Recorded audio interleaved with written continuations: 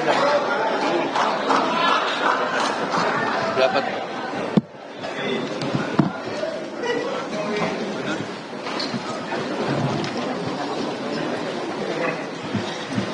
Ya makasih. Ini luar biasa ya. Ini, ini demokrasi yang ya kita tonton ini adalah demokrasi betul-betul transparan. Biasanya emang ya. Baik. Bismillahirrahmanirrahim. Selamat malam. Assalamualaikum warahmatullahi wabarakatuh. Selamat malam. Salam sejahtera bagi kita semua. Om Swastiastu, Namo Buddhaya, salam kebajikan. Bapak, Ibu sekalian, pimpinan sidang sementara, uh, Ismail Abdullah yang paling tua, yang paling muda, Senator Larasati, sahabat-sahabatku semua, kolega, senior, junior, yang biasa kita sebut senator. Senator Republik Indonesia, di belakang juga ada banyak teman-teman media, wartawan dan seluruh seluruh hadirin sekalian yang menyaksikan proses demokrasi yang terjadi di lembaga terhormat di ini.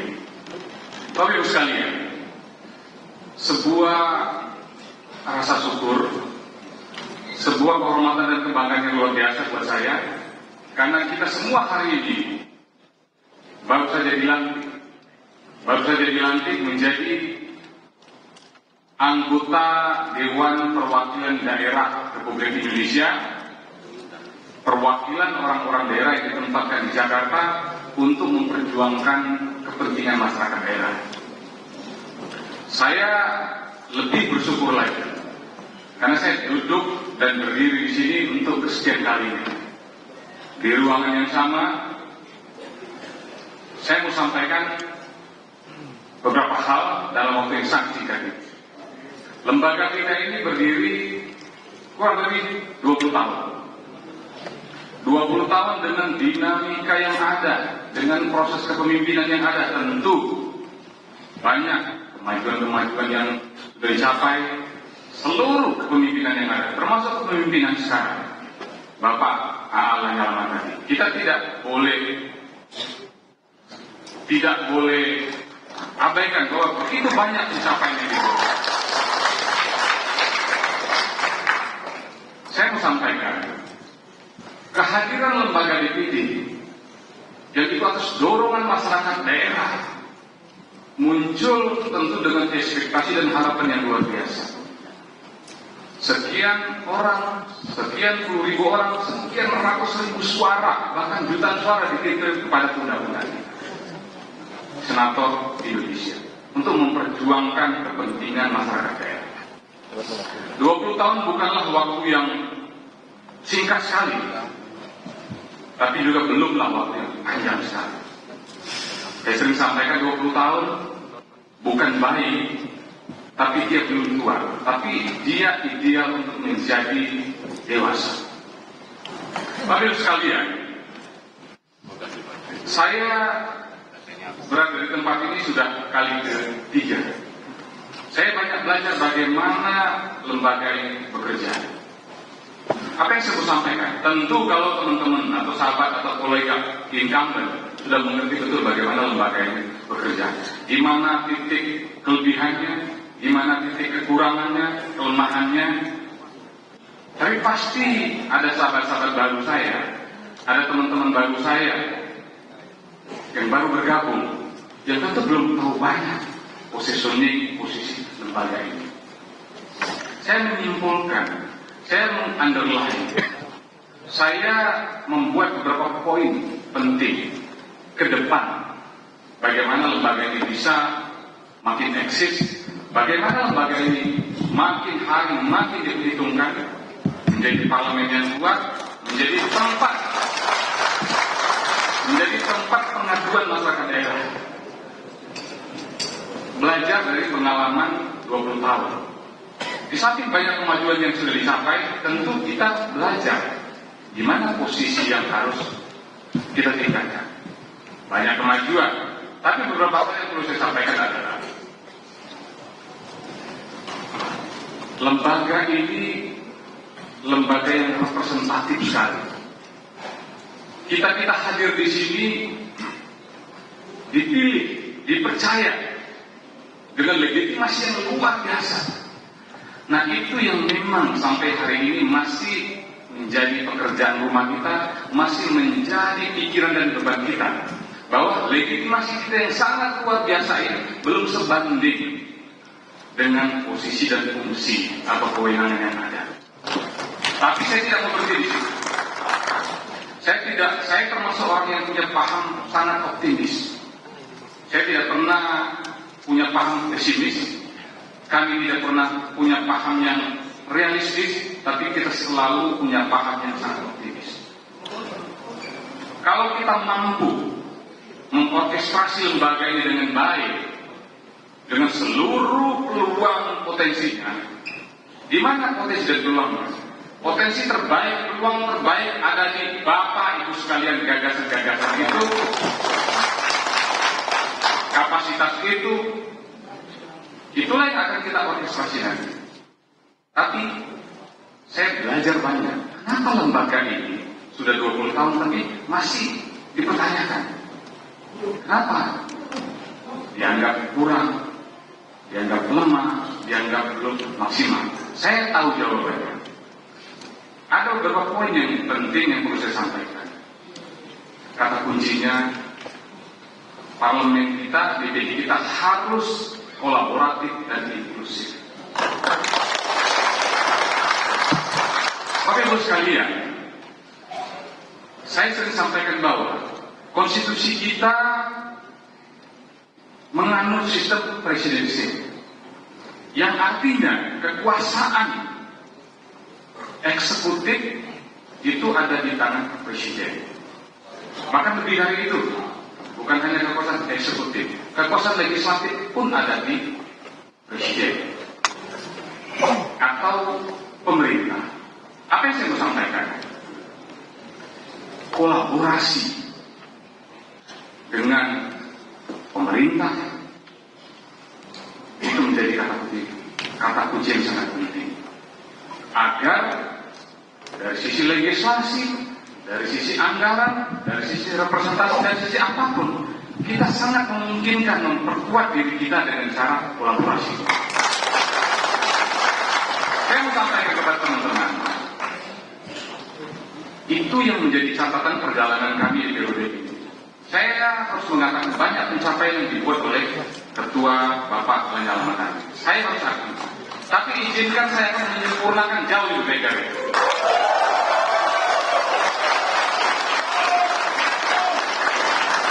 Banyak pencapaian yang sudah dilakukan oleh pimpinan lembaga DPD yang diketuai oleh Pak Insinyur Lanyala Matali.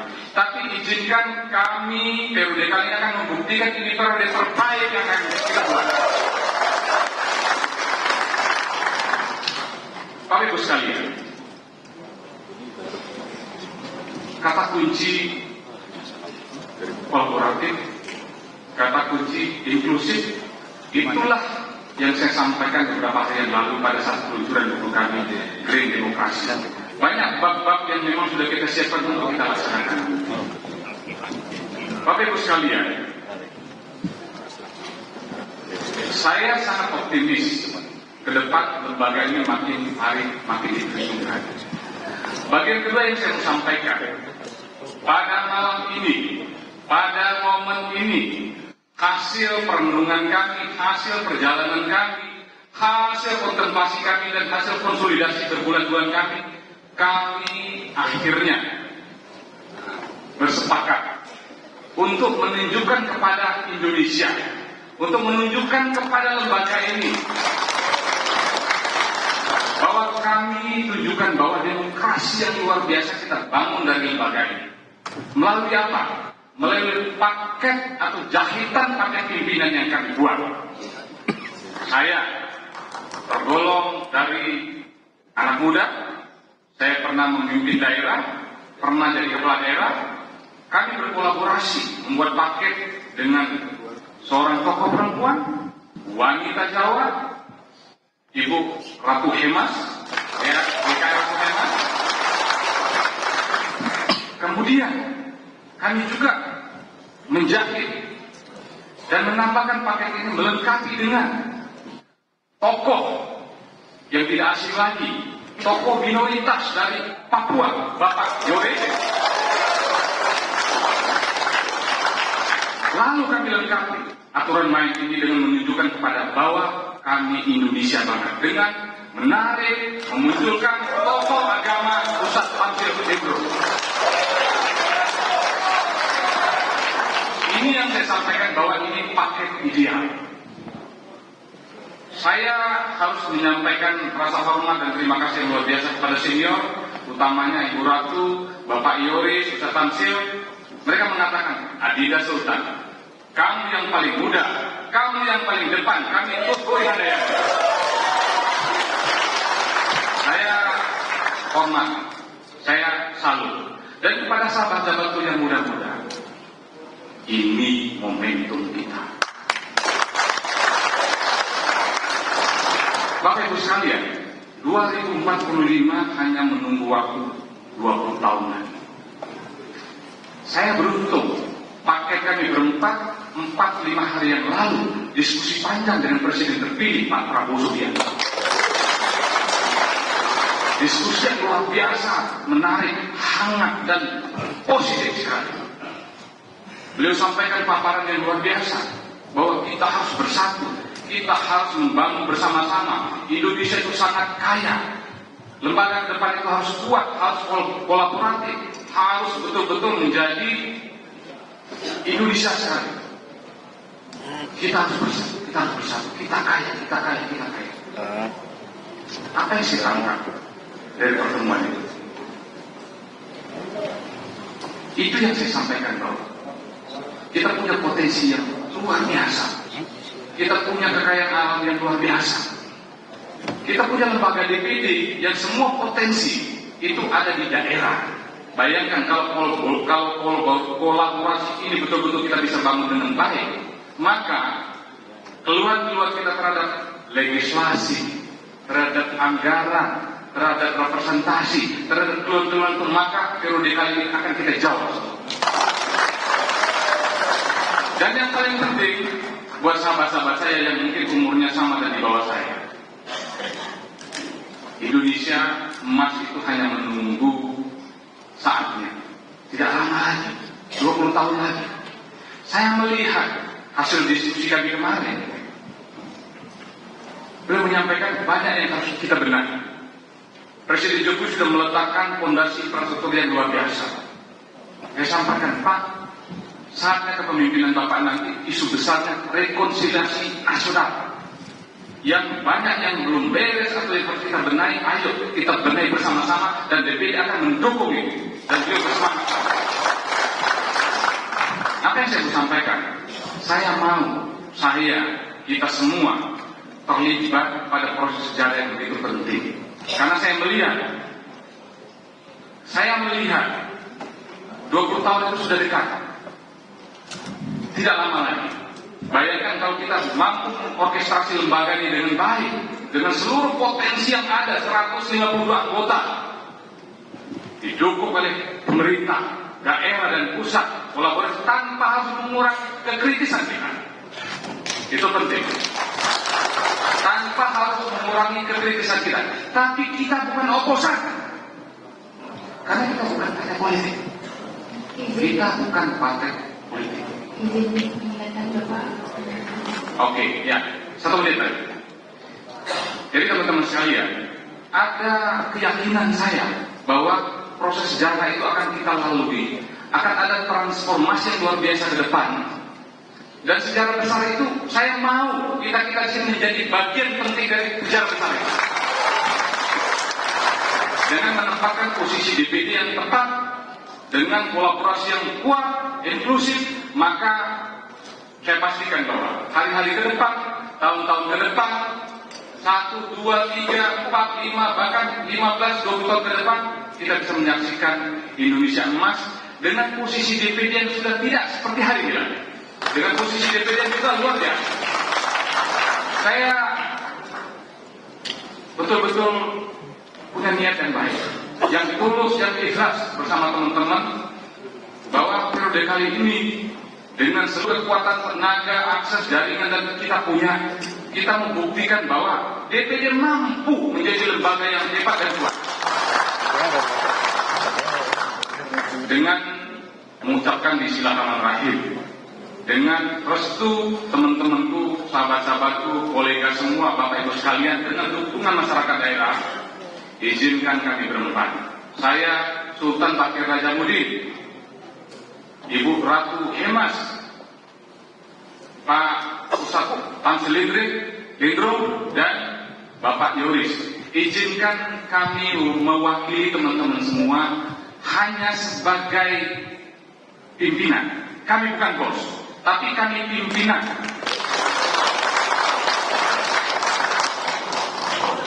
Izinkan kami nanti insya Allah kalau ditakdirkan memimpin dengan sangat inklusif, demokratis, tidak ada tekanan, tanpa intimidasi,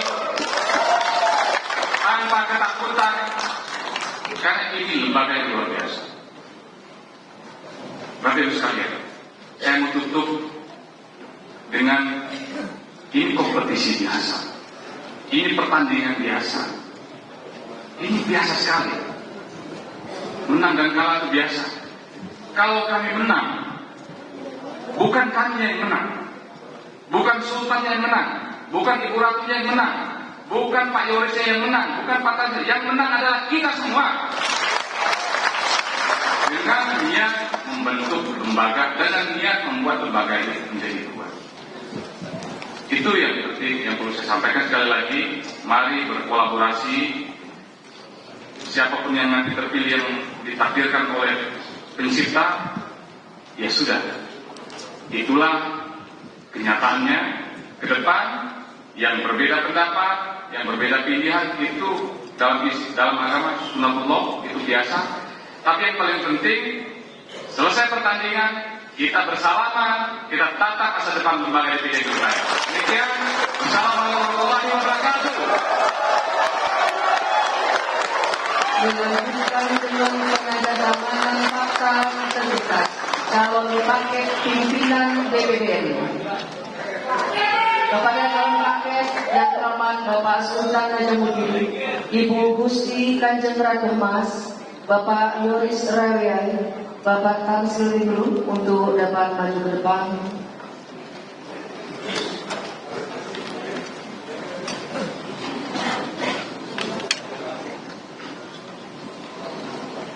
Halo bang.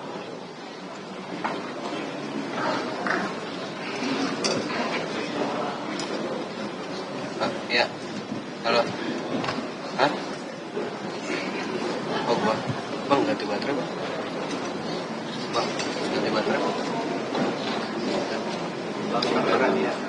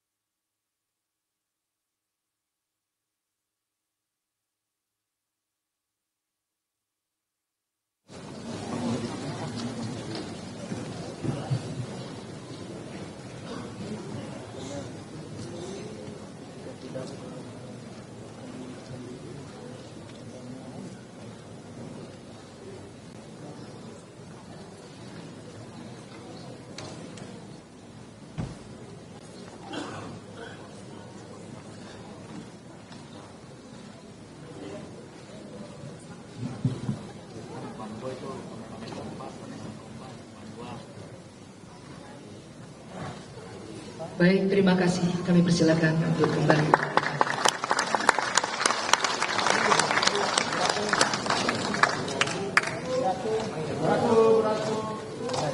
Handphone, handphone. Handphone, handphone.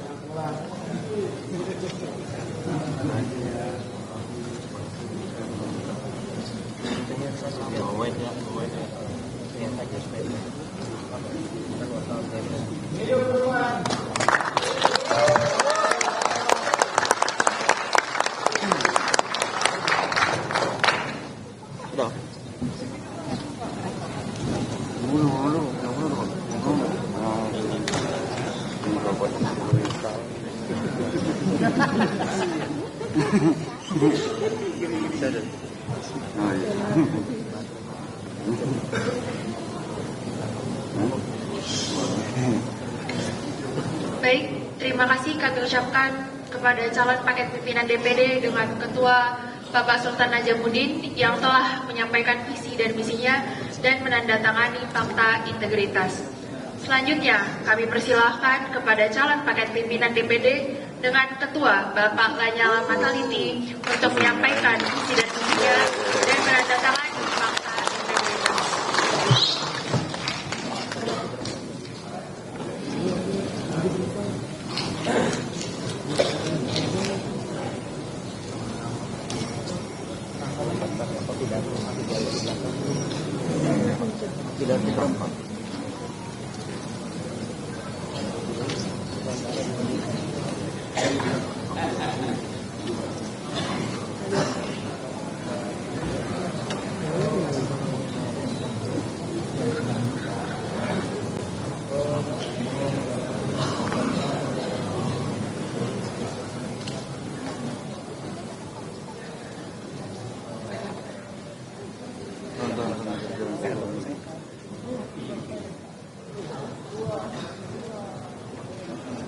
Oh, Bang.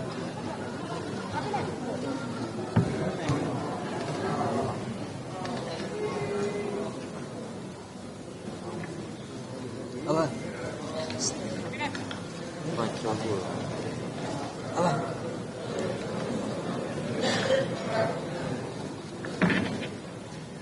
Bismillahirrahmanirrahim. Assalamualaikum warahmatullahi wabarakatuh. Salam sejahtera untuk kita semua. Shalom. Om Swastiastu. Namo Buddhaya. Salam sejahtera buat kita semua. Yang terhormat, kedua pimpinan sementara yang memimpin persidangan ini. Yang terhormat rekan-rekan senator yang mewakili daerah-daerah atau provinsi yang ada di Nusantara ini. Sekjen serta jajarannya, rekan-rekan media, dan hadirin sekalian. Pada kesempatan yang kedua ini, izinkan kami paket Lanyala Mahmud Mataliti, Nono Sampono Elviana, dan Andi Muhammad Iksan akan menyampaikan visi dan misi. Insya Allah apabila kami terpilih, inilah yang kami tawarkan kepada kita semua bagaimana untuk mengantar DPD RI ke depan yang jauh lebih baik dari kondisi saat ini. Paparan ini sengaja kami bagi dua. Ya, kita bergotong royong. Saya mendapat tugas untuk menyampaikan sedikit sebagai pendahuluan atau yang melatar belakangi yang apa yang nanti disampaikan oleh calon ketua Bapak Lanyala Mahmud Mataliti. Saya mengambil ada dua hal yang berkaitan dengan pendahuluan ini. Yang pertama adalah secara historikal tentang DPD RI. Yang kedua sedikit skema, gambaran garis besar yang menyangkut apa yang kondisi sekarang kita hadapi dan kemudian kita mau ke mana? Kira-kira begitu. Hadirin sekalian sering kali dan terlalu sering kali kita mendengar bahwa DPD RI adalah hasil dari reformasi 98 anak kandung dari reformasi. Sementara yang sebenarnya sejak awal kemerdekaan ini kita raih, proklamasi 17 Agustus 1945 di mana BPU PKI menyusun Undang-Undang Dasar 1945 di mana di sana tergambarkan bagaimana sistem ketatanegaraan kita. Saat itu sudah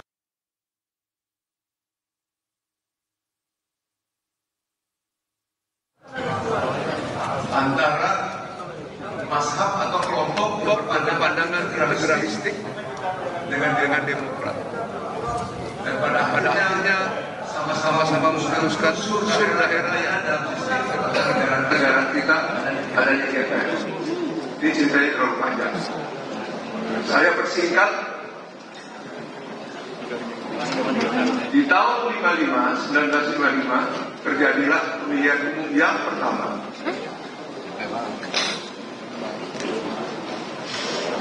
Di layar slide ini tergambar seperti ini. Pada saat itu memang kondisi negara kita masih jauh ya jauh daripada yang diharapkan. DPR saja pada saat itu baru terpilih. Tahun 56 Bung Karno mengadakan sidang atau rapat pembangunan nasional yang sekarang kita kenal dengan Musrembang sepakat bahwa dibentuk tim 9 tugasnya menampung aspirasi dan apa yang akan dilakukan ke depan. Di tahun 58 muncul ide dari tim 9 ini. Pertama adalah daerah harus diberikan otonom.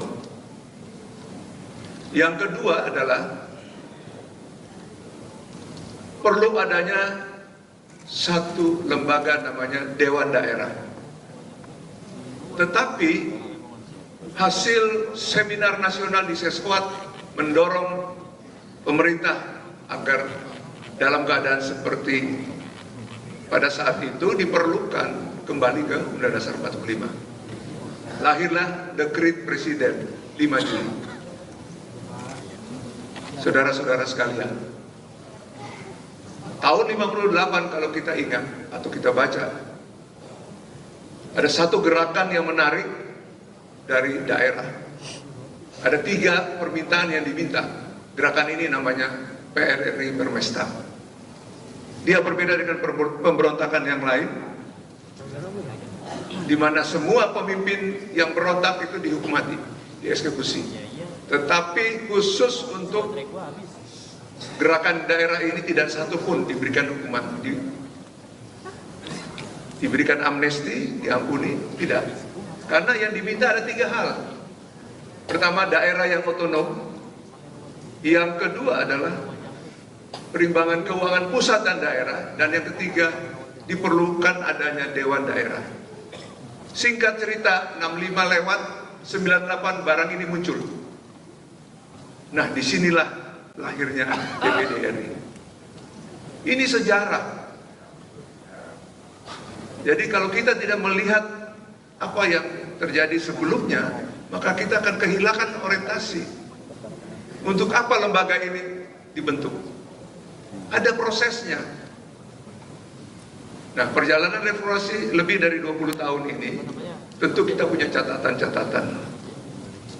Apakah enam tuntutan reformasi ini bisa terpenuhi? Tentu.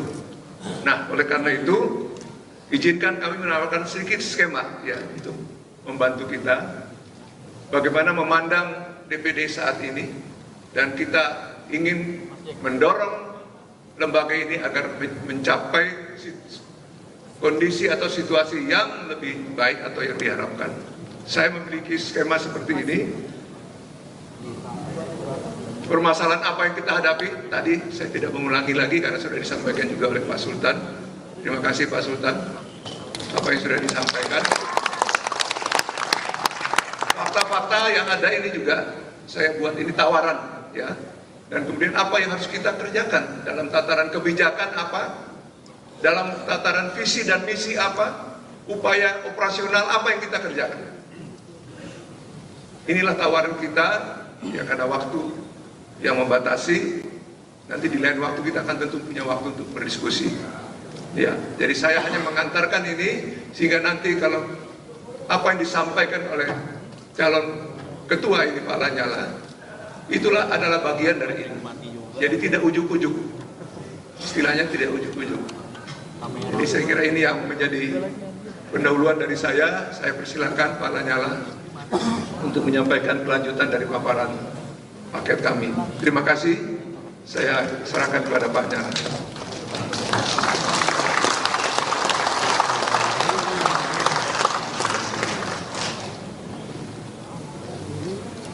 Bismillahirrahmanirrahim. Assalamualaikum warahmatullahi wabarakatuh. Salam sejahtera untuk kita semua. Shalom, Om Swastiastu, Namo Buddhaya, Salam Kebajikan. Yang saya hormati pimpinan sementara DPD RI, yang saya hormati anggota DPD RI masa bakti 2024-2029, yang saya hormati Sekjen DPD RI dan jajaran serta hadirin sekalian, serta para wartawan. Pertama-tama, marilah kita panjatkan puji syukur kehadirat Allah Subhanahu wa taala. Tuhan yang Maha Kuasa karena atas rahmat dan karunia-Nya kita masih diberi kesempatan untuk bertemu dalam keadaan sehat walafiat. Salawat serta salam marilah kita haturkan pada junjungan kita Nabi besar Muhammad Shallallahu Alaihi Wasallam beserta keluarga dan sahabatnya semoga kita mendapat syafaat beliau di hari hisab nanti. Bapak, Ibu, dan Adinda para senator yang saya banggakan. Hari ini adalah momen yang sangat penting sekaligus hari bersejarah bagi perjalanan hidup kita semua. Karena hari ini kita semua sudah diambil sumpah sesuai dengan agama dan keyakinan kita masing-masing. Sumpah yang tidak main-main. Karena bagi saya, umat Islam, sumpah dengan Al-Quran adalah sesuatu yang sangat serius karena akan kita bertanggungjawabkan langsung pada Allah Subhanahu wa taala di akhirat kelak. Salah satu kalimat dalam sumpah tersebut adalah kita akan bekerja dengan sungguh-sungguh dengan mengutamakan kepentingan bangsa, negara dan daerah daripada kepentingan pribadi, kelompok dan golongan. Sehingga negara ini diharapkan akan dapat mendapat mencapai tujuan lahirnya yaitu agar menjadi Indonesia yang adil, makmur dan sejahtera. Itulah yang selama lima tahun ini saya kerjakan sebagai Ketua DPD RI. Saya jadikan lembaga ini menjadi rumah terbuka bagi semua elemen masyarakat. Saya terima siapa pun dan kapan pun mereka mau bertemu. Saya datangi hampir semua undangan ke daerah. Untuk apa saya lakukan semua ini? Untuk memenuhi sumpah saya. Itulah mengapa saya menjaga diri saya secara pribadi dan tidak main-main dengan kekuasaan, terutama untuk memanfaatkan posisi saya untuk memperkaya diri pribadi atau orang lain. Bapak, Ibu, dan Adinda para senator dapat melihat dan membuka laporan harta kekayaan saya di website LHKPN yang dalam lima tahun saya menjadi Ketua DPD RI di mana angkanya justru menurun dari tahun ke tahun. Ini fakta, bukan mengada-ada. Silakan dilihat karena dokumen tersebut dapat diakses secara terbuka. Tetapi saya bangga karena saya membangun tradisi bagaimana menjalani kehidupan sebagai pejabat negara. Bagaimana saya memberikan contoh satunya kata dan perbuatan, komitmen dan konsistensi serta integritas. Karena saya sadar semua fasilitas sebagai pejabat negara yang saya terima bersumber dari pajak yang mengalir dari keringat rakyat. Keringat buruh, keringat pedagang kelontong, keringat tukang dan kuli bangunan. keringat tukang beca, dan keringat para pekerja yang terkadang harus menangis di malam hari memikirkan nasib keluarga dan anak-anaknya. Dan mereka ada di seluruh Indonesia, dari Sabang sampai Merauke, dari Miangas sampai Pulau Rote. Sehingga saya mendedikasikan waktu saya hanya untuk menjalankan tugas sebagai pejabat negara, karena saya sejak dilantik sebagai Ketua DPD RI Oktober 2019 lalu, saya mundur dari dan berhenti dari semua aktivitas bisnis yang sebelumnya saya jalani ketika menjadi Ketua Kamar Dagang dan Waktu Industri di Jawa habis Timur. pimpinan sudah dua orang. Bapak, Ibu, dan adiknya yang para senator yang saya banggakan. Oleh karena itu, marwah lembaga ini harus kita jaga. Integritas kita sebagai pejabat negara juga harus kita jaga. Karena kita adalah orang-orang yang diberi amanat, yang dipilih oleh masyarakat di daerah, yang berharap suara mereka memiliki saluran yang lebih luas untuk didengar. Kita harus mengawal dan mendorong kebijakan pemerintah untuk berpihak pada daerah untuk dapat terlaksana dengan efektif dan bermuatan keadilan, baik keadilan sosial maupun ekonomi, sehingga tujuan lahirnya negara ini seperti termaktub di dalam alinea keempat pembukaan konstitusi kita Izin bisa lebih cepat kita wujudkan. Untuk itu kita harus memberi masukan yang nyata dan faktual kepada pemerintah sekaligus memandu peta jalan melalui hasil pengawasan-pengawasan terhadap pelaksanaan undang-undang yang kita lakukan. Saya tegaskan, bila ada yang mengatakan tenang. Bahwa saya oposisi pemerintah adalah fitnah yang tidak berdasar.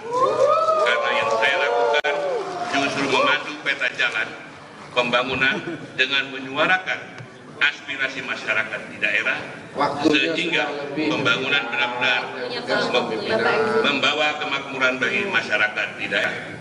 Apalagi tantangan masa depan yang semakin berat akibat gangguan yang dialami semua negara di dunia, baik gangguan akibat ketegangan geopolitik kawasan dan regional, juga ancaman percepatan teknologi dan gangguan lingkungan akibat pertumbuhan perubahan iklim.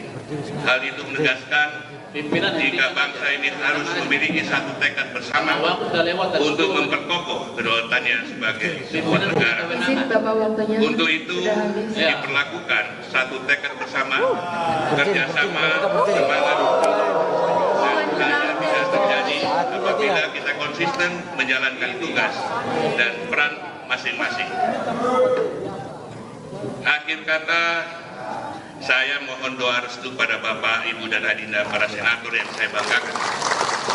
Saya ingin mengatakan bahwa yang dihadirkan Allah Subhanahu wa taala kepada saya pasti yang terbaik dan saya akan ridho dengan takdir Allah, Tuhan yang Maha Kuasa. Karena saya tidak mengetahui apa yang akan terjadi pada hari esok.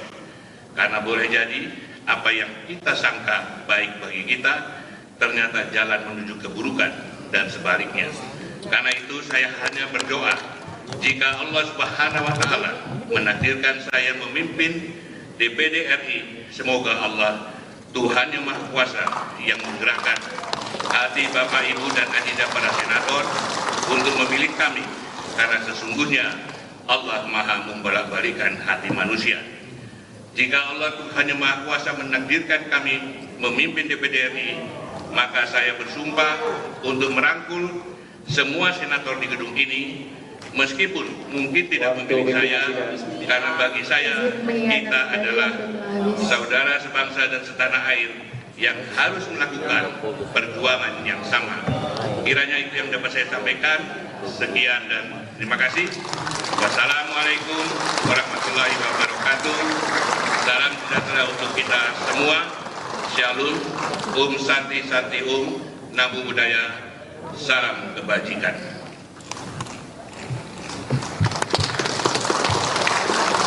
Dilanjutkan dengan penandatanganan fakta integritas calon paket pimpinan DPD RI yang terhormat Bapak AA Lanyala Mahmud Mataliti, Bapak Nono Sampono, Ibu Elviana, dan Bapak Andi Muhammad Isan.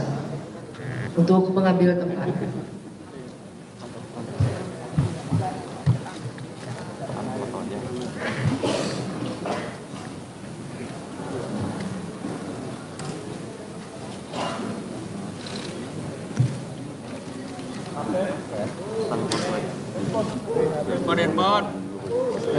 Handphone, turun. Handphone, handphone turun.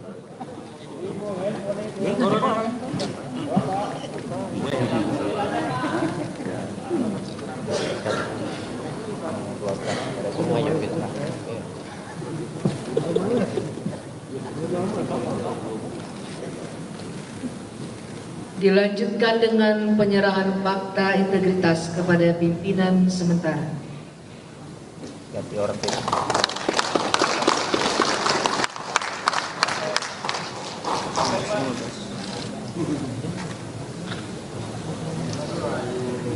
Terima kasih, kami persilakan untuk kembali.